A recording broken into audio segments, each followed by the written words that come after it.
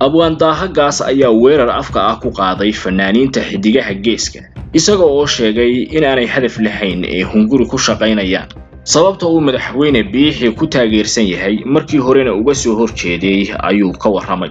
isaga oo sheegay inuu soo wado daraasiin heesa ah oo ka saara dhigaha dadka kuwa xidigaha geeska waxaa kale oo wax laga weydiiyey abwaanka dhaqaalaha uu ku qaataa inta uu leegyahay difaaca xukuumadda. Warbixinteennan ayaynuna ku soo koobaynaa waraysiga abwaanka laga qaaday iyo waxyaabihii uu kaga hadlay. Markii iimaan laawayaashu la joogeen anigu waan ka soo horjeeday xukuumadda madaxweyne biixi waxaana aan sameeyey heestii ka dhaadhici buurta sheikh oo markii uu buurta sheikh ka dhaadhiciyeyna ay dagaalla ka hor yimaadeen abwaan daahagaas oo ku tuntay kooxda xidigaha geeska ayaa waxa uu sheegay isagoo hadalkiisa sii wataa in ay quud ku shaqaynayaan balse aanay ku shaqaynayn qarannimo kooxda xidigaha geeska. Abwaanka oo wax laga weydiiyey sababta uu u taageersan yahay madaxweyne biixi ilaa iyo haatan ayaa sheegay inuu yahay kan guulaysanaya dhinaca guulaysanayana qof waliba uu jecel yahay inuu raaco. Madaxweynaha ayaa waxa uu sheegay inuu soo noqon doono oo dib loo dooranayo shan sannadood oo kale isaguna uu ahaan doono. Taageere xukuumadda madaxweyne biixi iyo qarannimada ah abwaanka oo la weydiiyey dhaqaalaha uu ku qaato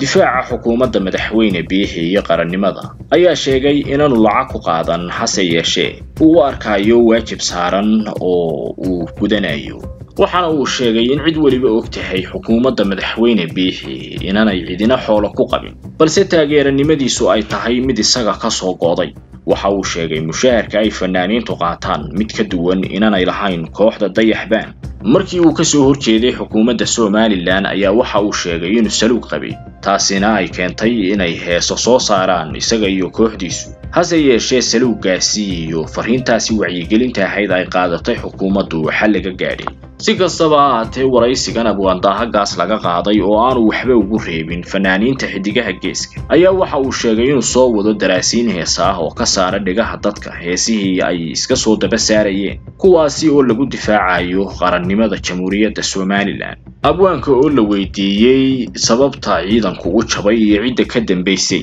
ayaa yidhi kuwii buurta galay ayaa sababay in ciidamada somalilan ay lumiyaan fadhiisimadii laascaanood iyagaanuna sheegaynaa iminka oo heesaha yaga kan aanu ku tilmaami doonaa. Runta la doondoonayo ee dadku ay u baahan yihiinna waa heesaha aanu hadda soo wadno oo ay ka dhex arki doonaan meeshii ay sartu ka quruntay ayuu yidhi abwaanku waxaana si weyn loo sugayaa heesaha ay la iman doonaan fanaaniinta dayaxbaan ee abwaan daahi cabdigaasna uu sheegay in qaranka ay u hiilin doonaan soona saari doonaan qalqallooca ku jira